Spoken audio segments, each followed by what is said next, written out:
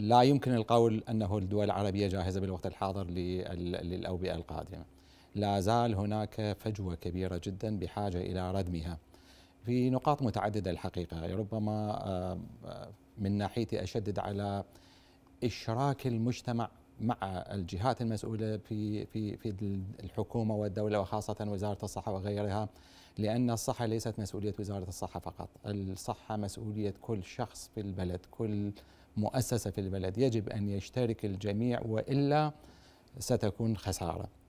يمكن العلامة الفارقة بين الدول التي نجحت في الاستجابة والدول التي تلكأت إلى حد ما في الاستجابة هو مدى قدرتها على جلب الناس إلى جهتها.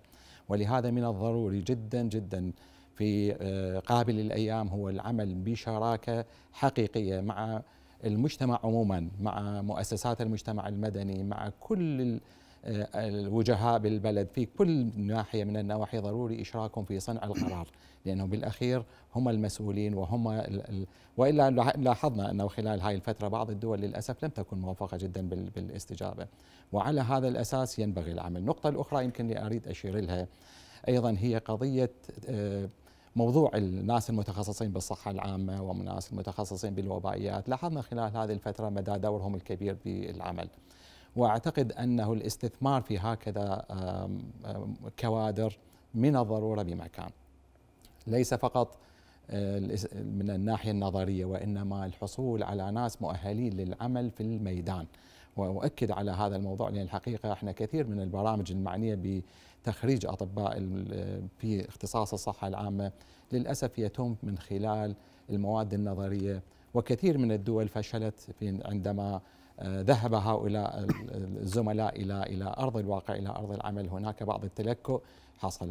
فالعمل يجب أن يكون جاد لتخريج ناس متخصصين في مجال الصحة العامة قادرين على العمل الميداني وبالتالي التهيؤ للجوائح لا سمح الله القادمة أو حتى يعني التفشيات البسيطة في داخل المجتمعات أيضا وهناك أمثلة كثيرة بالعالم التي نجحت في هذا حدت من انتشار الأوبئة بشكل كبير. برأيك النموذج الأفضل أي دولة؟ في العالم في دول كثيرة بس ولكنه اليوم حقيقة كنا نتحدث أنا والاخ الدكتور آه، هيثم تايلاند واحدة من الأمثلة الرائعة في هذا المجال. في عندنا آيسلند في نيوزيلاند في أستراليا في كثير من الدول آه، قدمت نموذج آه، ممتاز. بالوطن العربي يعني وليست مجاملة في بعض الدول أثبتت نجاحها ببعض دول الخليج الأردن على سبيل المثال. هناك نوع من التشاركية الواضحة بين بين الدولة وبين الشعب بالنتيجة حصلنا على كما لاحظ بالأردن على سبيل المثال نسبة التغطية بالتحصين باللقاح قريبة إلى 60% 57 58% نعم. نسبة متميزة قياسا إلى كثير من الدول العربية.